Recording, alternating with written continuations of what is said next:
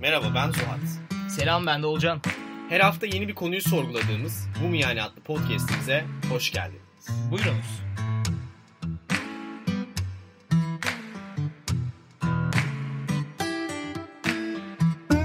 Selam millet. Selam herkese. Yine bu Miyani'nin e, arada binlerce kilometre varken çekilen bir bölümde daha beraberiz. Yasakta uzun bir süre kalmayacak gibi gözüküyor. Abi az önce sen söyledin. Sigara içmeyecektim. İçeri gittim sigara sardım geldim ya. ya böyle içime oturdu. 8 haftayı duyunca koydu değil mi? Abi gerçekten çok koydu çünkü hep böyle hani hapis gibi.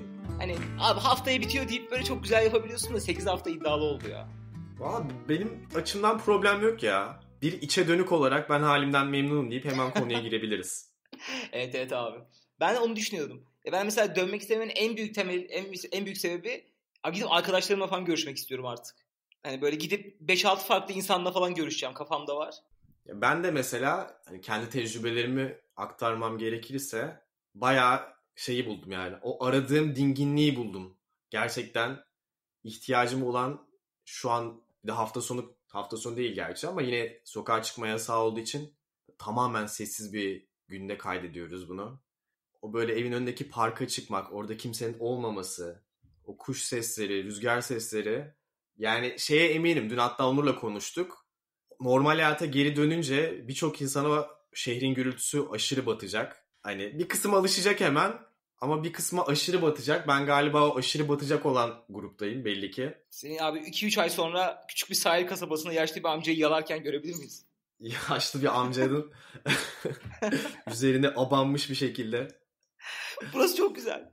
Ya şeyi fark ediyorsun. Aslında ne kadar o huzurun sana enerji verdiğini, o sessizliğin, sakinliğin, sürekli etrafta bir uyaran olmaması durumunun ve böyle daha sağlıklı düşünmeye başladığını, daha sağlıklı düşündükçe daha enerjiyle dolduğunu hissediyorsun mesela. O gerçekten benim için bu sürecin en büyük farkındalığı oldu. Ki ben bu konuda kör cahil bir adam değildim gayet. Tam olarak bu saydığım sebeplerden dolayı kalkıp İzmir'e gittim. Bir sene İzmir'de kaldım. Ama ona rağmen yani sandığımın o ötesinde bir durum olduğunun farkına vardım mesela. Şu geride bıraktığımız artık saymayı bıraktığım kaç hafta oldu bilmiyorum ama herhalde hiç yoksa iki ay olmuştur olmuştur. Kes, ben eski, ben buraya geleli Eskişehir'e geleli iki ay olmuşum. Ya bilmiyorum abi yine ne böyle dışa dönük bir insan olarak dediğin şeyler kesinlikle var ama bunu dediğin gibi yani mesela İzmir'e gidip de bunu sağlayabiliyorsun. Veya atıyorum işte daha sessiz sakin bir mahallede bir eve çıkarak da bunu bir nebze sağlayabiliyorsun. Şimdi kadar olmasa da tabii ki. Ama mesela benden götürdüğü şey bana çok daha fazla gibi geliyor bu sürecin. Ya o da az önce bahsettiğim gibi böyle çok fazla bir şekilde insanlarla iletişim kurma ihtiyacı. Ya bu tabii ki hani gidip bir mekanda patlayayım çatlayayım falan tabii ki ben de istiyorum. Özledim de yani. O tarz eğlenceleri de festivalleri falan tabii ki çok özledim. Ama onu da geçtim. Böyle gidip yine böyle toplu yerlerde böyle muhabbetler etmek, çok fazla insanla bir arada olmak, e, sosyal mesafeni korusam bile yine bir arada olabilmek. Yani bunu yerine hiçbir şey koyamıyorum mesela aklımda. Mesela dönme şeyin refleksin de hani ne hayatlarımız normale dönsün ne bir, bir şey değil. İlk refleksim abi gidip tekrar insanlarla gerçek anlamda sosyalleşmeyi sağlayabilmek. Evet. Zaten iş o içe dönüklerle dışa dönükler arasındaki o farkların en temel noktası aslında e, bir tarafın dışa dönüklerin başka insanların içerisindeyken aslında enerjiyle doğmuş daha işte dopamin salgılayan bir ruh haline bürünmesi. İçe dönükler için e, o ideal noktanın daha çok kendi kendine geçirdiği zamanlarda yaratılması aslında. O yüzden de mesela şey yani ben de şu an hani iki yani bir geçmişteki o günlük hayatın gündelik akışıyla e, şu anki hayatın artılarını eksilerini kıyaslayınca mesela şu anki hayatta çok daha verimli olduğumu, çok daha mutlu olduğumu. Tabii şu anki çok ekstrem bir durum yani. Ben de hani kimseyle görüşemediğim için e, en yakınlarımla bile rahatsızlık duyuyorum tabii ki. Ama yani bu kısıtlı sürede onun farkına varıyorsun aslında. Evet, evet abi sen iyi bir örneksin içe dönük için. Yani çünkü dediğin gibi İstanbul'dan bir anda basıp İzmir'e gidip kaç ay orada kalabildin mesela. Ya mesela benim hayatta yapamayacağım bir şey. Ya aslında bizim mesela hatta önce şeyi söylemek lazım. Bu böyle akla kara gibi bir şey değil ya. Hı hı.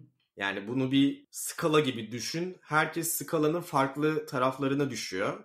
Ve böyle çok uç örnekleri de var tabii ki. Ama biz biraz daha iki tarafın e, skalanın merkezine yakın noktalarındayız. Yani sen de çok e, full dışa dönük bir insan değilsin. Kendi kendine vakit geçiren, Hı-hı. kitap okuyan bir adamsın. Ben de dışarıdan bakınca hatta ben içe dönüyorum deyince insanların bazen kabul etmediği durumların olduğu bir insanım. Öyle sosyal açıdan bir sıkıntım yok. Hı hı. Ki zaten aslında içe dönük olmak sosyal açıdan sıkıntılı olmak da demek de değil yani ona da geliriz. Ki zaten hani tavsiye edilen de biraz daha merkeze yakın olmak. Sonuçta çok e, inanılmaz değiştirebileceğim bir şey değil aslında. Hani kısmen hayatının evrelerine göre, e, yaşadığın şeylere göre değiştiği gözlemleniyor ama biraz güç oluyor. Ama biraz daha merkeze yakın durmak herhalde herkes için. Aynen. Zaten Jung şey diyor. İşte bu klasik bir interview var ya YouTube'da da Türkçe altyazılı çevirisi var. Merak edenler izleyebilir. Ben 5-6 kere izlemişimdir herhalde. Bir şey diye bakıp bak- bir şey bakmak için başlayıp. Orada şey diyor yani zaten tamamen içe dönük veya tamamen dışa dönük insan sadece akıl hastanesinde olabilir diyor. bu kadar net böyle bir tabirle kapatıyor bu durumu. Evet ya çünkü hiç içe dönme, dönük olmamak da büyük bir nevroz yani baktığın zaman. Ama mesela buna çok yakın örnekler var. Şimdi isim verip rencide etmek istemiyorum. Güne iki tane taklayla geçirenler var ama ne ya dışa dönük tarafta mı? evet İçe çok dönük dışa tarafta mı? dönük dışa dönüğün çok uç tarafında olan arkadaşlarım var. Hı hı. Ya onların mesela zararlarını zararları derken şu kişisel gelişim dediği hep bahsediyoruz ya kişisel gelişim dediği şey genelde yalnız kalmayla ilgili bir şey ya. Bir alanda uzmanlaşmak, işte kafa yormak, yaratıcı olmak gibi şeyler. Evet. Bu dediğim gibi dışa dönüklüğün böyle benden de daha ileriki uca yakın taraftaki insanlarda o kişisel gelişimin hiç gelişmediğini, hiçbir konuda uzmanlaşma diye bir şey olmadığını ama eksik kaldığını özellikle yaşın 30'a yaklaştıkça dışa dönüklükten orta tarafa doğru koşman gerektiğini hissediyorsun. Ben çok rahat hissediyorum. Özellikle bu karantina sürecinde çok iyi hissettim yani. Ya mesela şey de hani e, hayatın hangi evresinde olduğuna göre de değişken bir şey dedim ya aslında biraz onu kastetmiştim. Biraz her insan ister istemez daha içe dönük tarafını keşfetmeye başlıyor belli bir yaşın ardından. Yani klasik çalışmalar vardır ya işte bir insanın 20 yaşında ortalama bilmem kaç tane arkadaşı varken işte bu rakam 30 yaşına geldiğinde şuna düşer diye. Senin anlattığın o insanların yapamadığı şeyden kaynaklı olarak gelişen bir şey. Yani daha kendine vakit ayırmaya, kendine ilişkini geliştirmeye e, zaman ve efor harcamaya başladıkça o bazı dışarıdaki arkadaşlık ilişkilerinin e, önüne geçmeye başlıyor. Daha az insanla arkadaş kalabiliyorsun kendine artık vakit ayırdığın için. Ya da hani bir takım arkadaşlıklarını bitirmen gerekiyor. Yani en azından benim tecrübemde biraz böyle oldu. Ben de eskiden çok içe dönük e, olduğumu kabul etmeden ne kadar arkadaşım varsa o kadar iyisin. Ne kadar e, Facebook'ta, Instagram'da takipçin varsa o kadar popülersin, o kadar iyisin gibi e, böyle toplumun baskısıyla gelen fikirlere de biraz boyun eğmişliğimden diye bir öz eleştiri yapayım. Ben de çok ona inanıyordum ama daha sonra içe dönük olduğumu anladıkça, daha kendi başıma geçirdiğim vaktin kıymetini fark ettikçe yavaş yavaş o arkadaşlıklardan bazılarını elemem gerektiğini fark ettim. Çünkü hani bir kısıtlı zamanım var yani kısıtlı enerjim var. Ee, ki zaten içe dönük bir Ve insan... fırsat maliyeti var her zaman. Tabii zaten içe dönük bir insansan e, belli ilişkileri belli bir seviyede tutmak da ekstra efor isteyen bir şey bir dışa dönüğe göre. Ve yavaş yavaş ondan feragat ediyorsun. Biraz daha e, yalnızlaştığın anlar da oluyor ama günün sonunda daha az sayıda daha derin ilişkilerle hayatına devam ediyorsun. Aynen. Ya arkadaşlık dediğin şey aslında yani genel olarak böyle bir kitle olarak söylüyorum. Arkadaşlık dediğin şey birazdan network'e doğru kaymaya başlıyor. Yani böyle sürekli bir ilişki yürütmek gibi değil de hani aradığın zaman açar. O aradığın zaman sen açarsın. Bir şey danışırsın, bir şey istersin. Mantıklı ya şey yaptım. Dinlerken mantıklı geldi bana yani. Yavaş yavaş o insanlar senin network'ün olarak kalıyor. Sen de o insanların network olarak kalıyorsun. Ki bu bence tam durulması gereken nokta benim için en azından. O network'ü sağlayacak noktada durmak. Ondan aşağısı yine benim bakış açıma ters düşüyor. İçe dönük ve dışa dönükler aslında belki diğer bölümlerde de konuşacağız. O Big Five dediğimiz 5 temel e, kişilik özelliğinin en başındakilerde, en başındaki diyebiliriz hatta. En temel ayrım aslında. Yani neredeyse iki ayrı canlı türü gibi e, bu insanlar. Özellikle skalanın farklı uçlarındaysa. Ve bu günün sonunda farklılık tamamen yani bu işin doğrusu ya da yanlışı kesinlikle yok. E, iki tarafta olmanın içinde bulunduğun duruma göre avantajları da var, dezavantajları da var. Ama hani biraz şeyden bahsedeceğim zaten. Yani toplumun e, farklı sebeplerden dolayı, farklı kültürel nedenlerden dolayı niye içe dönükleri içine kapanık, antisosyal olarak yaftalayıp kendilerini kötü hissettirdiklerinden biraz dem vurup ondan sonra bu kardeşlerimizi birazcık kendileriyle ilgili iyi hissetmelerine yardımcı olacağım bu bölümde. İçe dönük kardeşlerimiz. Ya ben olmayacağım. ben olmayacağım. Ben her zaman Zuhat'ın yaptığı iyileştirmeyi hayır abi siz eziksiniz. Zaten sizden bir bok olmaz diye getireceğim. Kusura bakmayın. yok yok tabii ki öyle bir şey getirmeyeceğim de.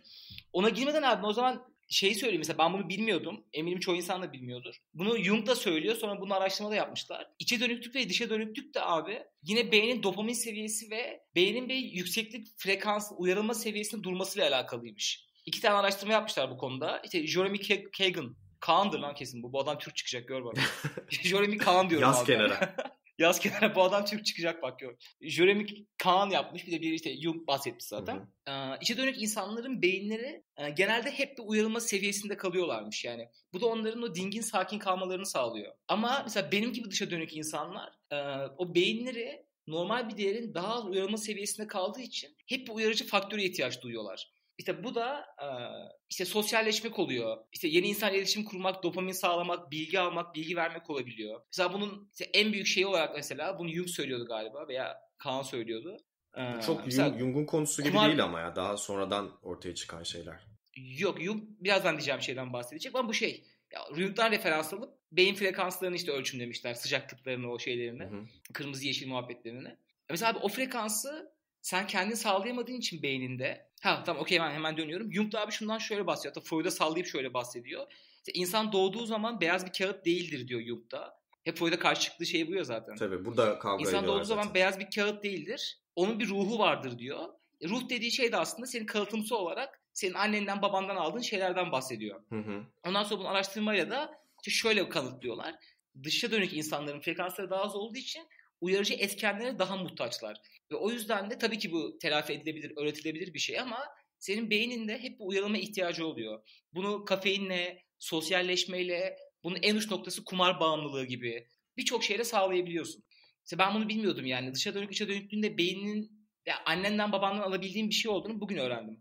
Belli bir ölçüye kadar. Yüzde yüz değil tabii ki. Benim de tam yeni öğrendiğim şeylerden bahsettin. Ben de böyle üzerinden kendi bildiklerimi ekleyerek geleyim. Dediğin gibi abi bu işte e, içe dönük dışa dönük ayrımını ilk yapan değil ama popüler popülerleştiren insan Jung zaten ve e, Freud'la kavga ettikleri nokta da aslında burada oluyor. Çünkü Freud e, libidoyu cinsel itki yani sex drive diyor. Senin aslında yaşam enerjin e, hep bir şeylere duyduğun cinsel enerjinin işte bastırılması ya da işte başka şeye yönlendirilmesi gibi işte diyor. En basitinden ödipal kompleksi annene cinsel ilgi duyarsın ama toplum bunu bastırdığı için o babana karşı bir öfkeye şiddete dönüşür gibi. Ee, Jung da buna cevap olarak şey diyor. Ya diyor yeter diyor senin diyor her şeyi sekse diyor anneye bağladığın. Sapık adam diyor. Yaşından başından utan diyor. Ayrıldığı noktada şu libido cinsellikle alakalı değil diyor. Ee, çünkü libido yani libidinal enerji insanın iç dünyasına dön- dönük olabilir diyor.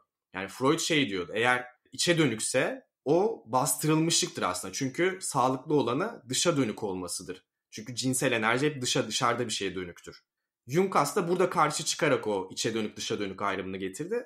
Onun dediği de aslında şuydu. Yani bu içe dönük insanlar için kendi iç dünyalarını keşfetmek, dışa dönük bir insan için dış dünyayı keşfetmek neyse oydu. Aynı değere sahipti.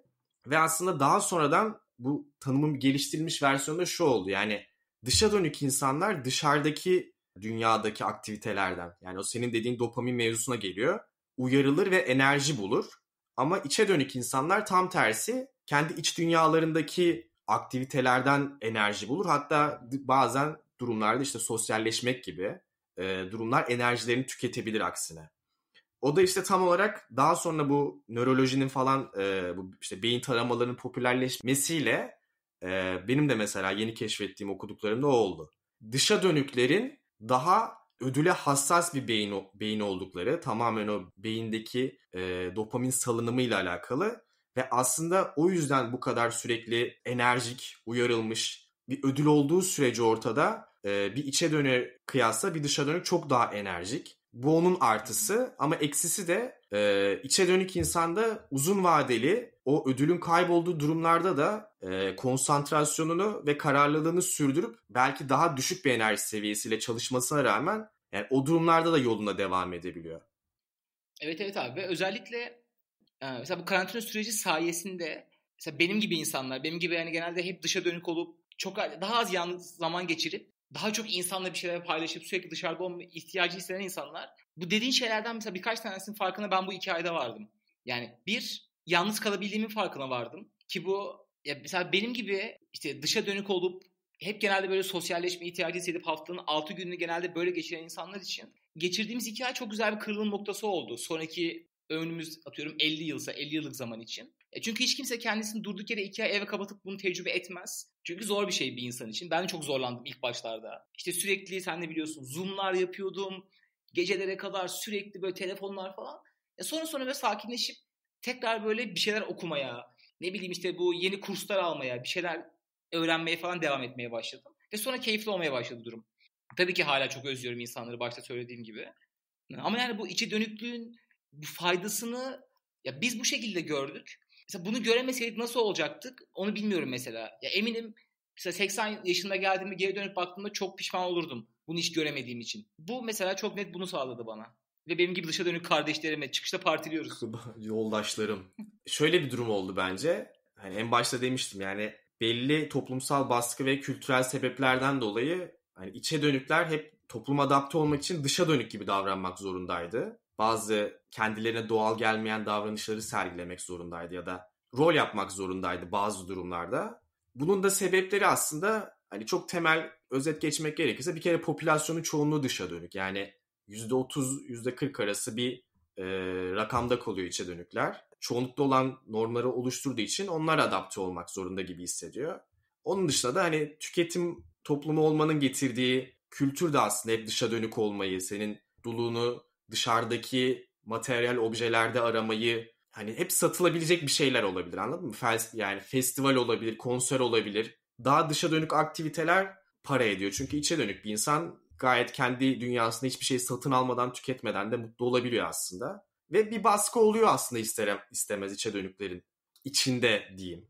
Şimdi baskı tersine döndü. Dışa dönükler bir süreliğine içe dönük gibi yaşamak zorunda kaldı mecburiyetten. Bence şey açısından güzel oldu. Gerçekten hani insanların o skalada dışa dönüklerin biraz daha içe dönük tarafa gelmesi açısından, empati kurması açısından belki. Özellikle onlar için bence daha iyi olduğunu düşünüyorum. Yoksa içe dönüklerin içinde de daha belki kendi bu tarafını keşfetmiş insanlar olmuştur muhakkak ki. Ya da işte benim gibi bu alanda farkındalığı olmasına rağmen aslında o e, sakinliği sağladığında hayatta çok daha üretken ve olabildiğini görmüş olanlar. Yani ilginç bir şey oldu gerçekten. Normalde yaşanmayacak bir olay sayesinde bu konu bence herkesin gündemine bir şekilde girdi ister istemez. Evet evet. Bir daha senin az önce dediğine ek olarak bu içe dönüklerin bu dış dünyadaki o zorlanmaları ile ilgili ya sonuçta içe dönük bir insanı sen alıp dış dünyaya attığın zaman işte iş hayatı gibi hani sonuçta bir insanın onaylanma ihtiyacı içe dönüklükle ilgili bir şey değil ya bu içsel bir içgüdü. Ve sen bu bu kadar dışa dönük insanların sesinin daha fazla çıktığı, daha çok insana etki altına alabildiği yerlere attığın zaman işte bu sefer o kendi iç çalışması başlıyor yani. Hem dışarıda kim müdürün veya böyle insanların takip ettiği insanlar %90 büyük ihtimalle dışa dönük insanlardır. Hem onlardan onaylanmak için onlar gibi olmaya çalışıyorsun. O seninle konuştuğumuz neydi kadının adı? Susan, Susan Kane. Susan Aynen Kane. bu arada Susan Kane'in de dediği da tavsiye, bu tarz bir şeydi onu da tavsiye edelim. Ee, Susan Kane'in Quiet diye bir kitabı var. Baya kötü bir çeviriyle e, Sakinler de Kazanır diye çevirmişler. Ahmet diye. baya tavsiye ederim. Baya birkaç chapter okudum. Gerçekten güzel bir kitap. Dolu bir kitap yani. O da şey, içe dönük bir kadının işte yıllardır başına gelenleri anlatıyor ve bu dediğim şeyi de anlatıyor yani. Sen orada bir insanı kendini sevdirmek için içsel olarak şey vardır hareketlerini taklit edersin. Böyle başına sürekli onaylarsın. O kadın da mesela diyor ki içe dönük insanları biraz daha rahat bırakmak gerekiyor. Bu tarz sosyal baskılar bakımından da. Yani çünkü içe dönük olmak dediğim gibi hani başarısız olmak ve asosyalleşmek değil ama işte bu şehirden ya bu köylerden şehri göç başladıktan sonra eskiden insanlar köylerde daha içe dönüktü ve buna mutlulardı hani atıyorum dağ bahçeye gidiyordu. Kendi işiyle ilgileniyordu. Akşam sosyal sosyalleşiyordu. Şimdiki gibi zorunlu değildi hiçbir şey. Ee, ama bu şehirleşmeyle artık bu daha büyük binalar işte sizin bu Garanti Bankası gibi 10 bin kişinin aynı yerde açık ofiste olduğu yerlerde dediğin gibi abi içe dönük insanlara çok çok daha az şans veriliyor. Yani ki olduğu gibi olması bile bir başarısızlık unsuru gibi oluyor. Sessiz kaldığı için. Bak adapte olamadı diyor falan. Kadının kitabında e, bir içe dönüklük tanımı vardı bence mükemmel bir ayrım. O şey diyordu. Doğası gereği daha düşük uyaranlı ortamları tercih etmek. Mesela bu gerçekten hani benim inanılmaz katıldığım bir şey. Bu böyle karantina sonrası artık iki katı üç katı katıldığım bir şey. Sen de hani dışa dönük olarak tam tersi senin için geçerlidir diye tahmin ediyorum. Hı hı. Tabii tabii canım. Ve yani hani ortamlar da hep ona göre tasarlandığı için yani dediğin gibi mesela açık ofiste çalışmak benim için çok zorlayıcıydı. Çünkü benim hani iç dünyamda kaybolmam lazım o süre boyunca ve e, dağılmamam lazım. Aslında hani bir farkı da o şekilde söyleyebiliriz. Hani dışa dönükler daha dopamine hassas gibi bir tanım var. Ama aslında şöyle bakınca içe dönükler daha hassas, içe dönükler çok daha fazla batıyor. Herhangi bir arka plandaki telefonun çalması, birine konuşması, dikkatini dağıtan bir unsur. O yüzden mesela bence birçok insan e, o unsurların işte yoldan geçen arabaların, siren seslerin orta, ortada kalktığı bir ortamda çok daha dingin bir ruh haline ya da daha berrak bir zihne büründükleri için bu farkındalığa varmışlardır eminim. Ama abi işin diğer bir boyutunda da bu sö- söylediklerim şu insanlar için geçerli değil. Gerçekten bir problem şeklinde bir utangaçlık ya da sosyal kaygı yaşayan ya da asosyal kişilik bozukluğu olan insanlar da olabilir belki. Hani bu saydıklarım daha çok içe dönükler arasında gözükse de her içe dönük bunları taşıyor manasına da gelmiyor düşünüldüğü gibi. Yani onları bu söylediklerimden ayrı tutuyorum. Onlar daha farklı sahip olmadığım bir uzmanlığın dışında olan konular. Ama size onu da getireceğiz. Haftaya sosyal birini getireceğiz. Dünyanın en sıkıcı bölümü Hiçbir şey olacak söylemeyecek. Hiçbir şey söylemeyecek. Bir dürtçe sürekli. Tabii bu hani söylediklerim kendinizi iyi hissettirse de işin bir yandan da şöyle bir boyutu var. Sonuçta hani sosyal ve giderek daha sosyalleşen bir dünyada yaşıyoruz. O yüzden bazı noktalarda da size doğal gelmeyen belki o eylemlerde bulunmanızın gerektiği anlar da olacak. Yani bunu tamamen ben içe döneyim deyip kendini bunlardan tamamen soyutlamak da e, benim tecrübemde en azından bir çözüm değil. Hani benim sen biliyorsun mesela bazen çok bu konularda aslında çok aşırı bir medeni cesaretim olmaz, olmamasına rağmen birçok işle alakalı, bir şeyle alakalı bir insan varsa ortamda hep o geride durma içgüdümü karşı çıkarak gidip tanışırım o insanla. Ya da bu bir hani ortamda hoşuma giden bir kız da olabilir. Çünkü diğer türlü de bir şeyler kaçırıyorsun aslında. O yapına da tamamen boyun da eğmemek gerekiyor. Evet evet abi. Ya bu zaten hep bizim seninle ilk bölümlerde falan konuştuğumuz gibi. Yani evet o o adımı kesinlikle atabiliyor olmak gerekiyor. Ve mesela ben şeyde çok inanıyorum. Senleyken dedik ki konuşurken söylemiştim ya sana. Abi galiba burada konuşmayı unutacağım falan diye. Ya bu sosyal yeti de ya sosyallik de artık daha da eminim ki bu hikayede fark ettiğim bir şey. Bir kas gibi, bir düşünce yapısı gibi ne kadar yaparsan o kadar çok gelişebilen bir şey. Ya buna istersen pratik zekalı olmak diyebilirsin. Bu da yine sonuçta bir öğreti. Hani atıyorum, Yahudilerin çocukları iyi ticaret yapar, az laf yapar. E niye? Çünkü konuştuğumuz gibi o ailede büyüyorsun ve hep bunu gözlemliyorsun. Anlık cevap verme gibi şeylerle. İşte içe dönük insanlara da tavsiye gibi bir şey ver, vermek istersek bence. Hatta bunu da şey Jordan Peterson'ın bir tane şey vardı YouTube'da. 4-5 dakikalık işte içe dönük dışa dönük hakkındaki ders kesiti. O böyle bir şey söylüyor. Ya bunu zaten pratik ed- ediyor olman gerekiyor. Yani ben içe dönüyüm ama yeri geldiği zaman da bununla konuşurum dediğin zaman maalesef büyük ihtimalle bu hayal kırıklığına dönüşecek. Çünkü sen o sosyal becerini geliştirmediğin için ya çok korkacaksın ya o iletişimi sürdüremeyeceksin. Ya o dengede hep kendini diğer tarafa itmek gerekiyor. Mesela dışa dönük bir insan için olarak benim de tam tersini yapmamam gerekiyor. Kendim için söylüyorum yani. Ne kadar sıkılsam da oturup o sıkıcı şeyi yapmaya devam etmem gerekiyor. Veya atıyorum cuma akşamı dışarı çıkmamam gerekiyor. Sabah bir işim varsa sallıyorum. Şey ayrımı vardı. Oradan belki yola çıkıp bağlayabiliriz. İçe dönüklerle dışa dönükler arasında şöyle bir ayrım, ayrım yapmışlar. Ee, işte dışa dönükler daha fazla tecrübe eder, daha az tecrübelerin üzerine düşünür ve yansıtır. İçe dönükler daha az tecrübe eder ama te- tecrübe ettiklerinin üzerine daha fazla düşünür ve yansıtır diye. Ben mesela buradan yola çıkarak e, hani içe dönükler için biraz daha fazla yeri geldiğinde tecrübe etme konusunda kendilerini zorlamalarını e, dışa dönüklerde hani bir noktadan sonra artık ekstra yeni tecrübeden ziyade mevcut tecrübeler üzerine biraz kafa yorup hani bir anlamlandırmaları gerektiğini düşünüyorum nacizane. Zaten bu konu seninle başta da söylediğimiz gibi yani bir yere bağlanabilecek bir şey değil. Yani böyle akkara böyle eğitim sistemi veya sosyal medyaya gömüp geçelim içimizde kalmasın gibi bir şey olmadığı için öyle. Öyle bir şey olmadığı için hani bu konunun sonu böyle nereye toparlayıp nereye bağlarız bilemedim yani. Bu da böyle bir bölümümüzdür. Aynen. Bu da bayağıdır konuşmak istediğimiz. Bir sene bölüm herhalde 5 aydır falan konuşalım diyorduk. Bugüne kısmetmiş. Ama güzel oldu bence. Beklediğimizin bir anlamı oldu e, şu zamanlamayla beraber. Evet ve tecrübe etmiş olduk. Ben büyük ihtimalle 3 ay önce konuşsak içi dönüklükle ilgili çoğu şeye karşı çıkardım konuşurken. Ben de belki daha sığ yorumlar yapabilirdim genel anlamda. Ama Covid-19 sağ olsun. COVID-19 Bize bu, bu sağ olsun. konuyu da bahşetti. İçe dönükleri ve dışa dönükleri de bir araya getirdi. Okey o zaman. Okey abi çıkmadan o zaman şu iki tane duyuru not aldım. Onları Hadi bakalım. onları söylüyorum. Ee, Duyuru vakti. Hemen şey yapayım o zaman. yani Evet duyuru vakti. şey yapsana. Merhaba. Yine hiçbir şeyin sunmadığı bu mu yani de bir bölüm daha kapatıyoruz.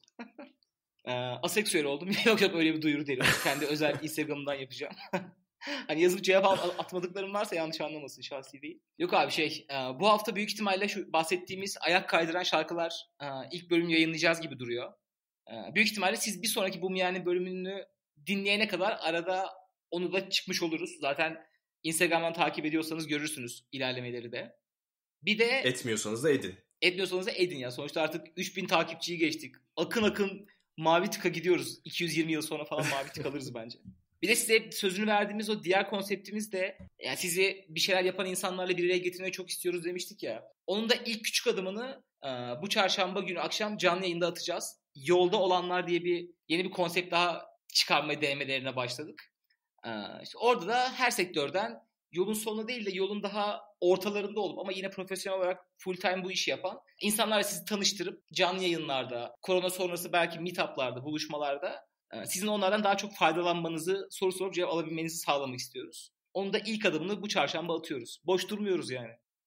Bunlar da durup durup bölüm çıkartıp geç yayınlıyor demeyin. Bir duyuru da ben sıkıştırayım. Bu hafta içi Karanlık Öykülerinde yeni bölümü geliyor. Yeah. İlk bölümü sevenler zaten dinleyeceklerdir. İlk bölümü o kadar da sevmeyenler bu bölüm biraz farklı bir şey denedim. Bakalım bunu sevecekler mi? Güzel. Bu arada sen o Karanlık Öyküler'in Instagram sayfasını da farklı bir şekilde bir şeyler yapıyorsun değil mi? Yani böyle daha çok film eleştirisi gibi. Burada millet, millet ayak yapmıyorum. Ben de Zuhat paylaşınca görüyorum paylaştıklarını. Burada böyle iğrenç bir roleplay gibi olmasın.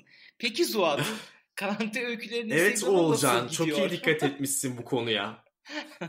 Teşekkür ederim konusunu açtığın için.